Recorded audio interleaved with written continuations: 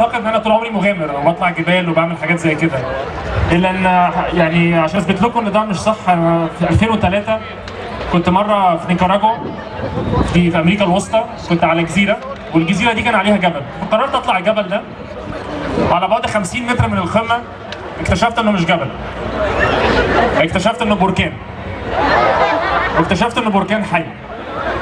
واكتشفت ده لأن أنا لقيت دخان طالع من الأرض. وأول ما الدخان ابتدى يطلع حسيت إن رجليا سخنت شوية فبصيت على نعل الجزمة لقيت إن الجزمة نعلها اتحرق من النعل لحد الشراب فنزلت جري.